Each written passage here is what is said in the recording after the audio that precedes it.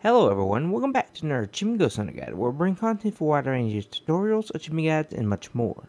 As of today, we will find the MOA statues for Halo 3 for September 13th through September 20th of 2013. You can find these on the 7th, 8th, or 9th mission. These are The Covenant, Cortana, Halo,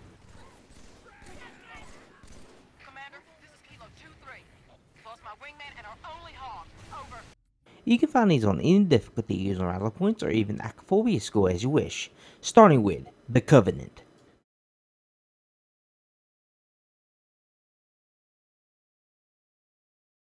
The first mulligan on the Covenant is located right at the beginning. Once you get up to the first tower, go below that lower waterfall and you'll see it right there. The second mulligan on the Covenant is located at Point Bravo. Once you get to the second tower where the elites came out of, you'll head down that ramp and you'll see it right there to your left. The third and final mulligan on the Covenant is located at Rally Point Charlie. Right when you get towards the very end, right where you encounter the brute chieftain with the gravity hammer, look to your left and you'll see it right there on one of the ledges.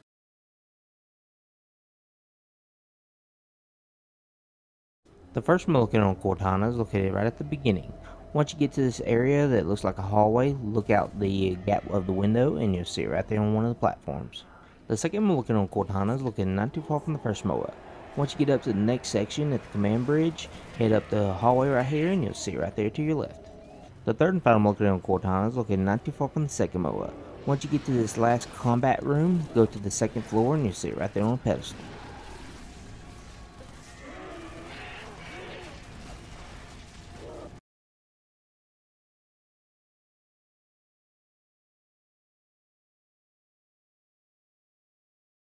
The first mulligan on Halo is located right at the beginning. You'll see it right there in your Crash Pelican.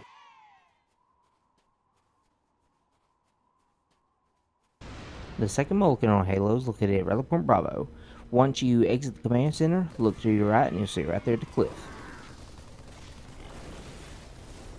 The third and final mulligan on Halo is located right at the very end. Once you get to the area where you have to get in Johnson's Warthog, just follow my path with the Acrophobia skull and you'll see it right there on the platform to your left.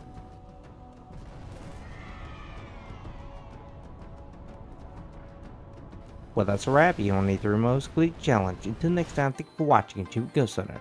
Please like, subscribe, and follow for upcoming new videos, achievement guides, and much more.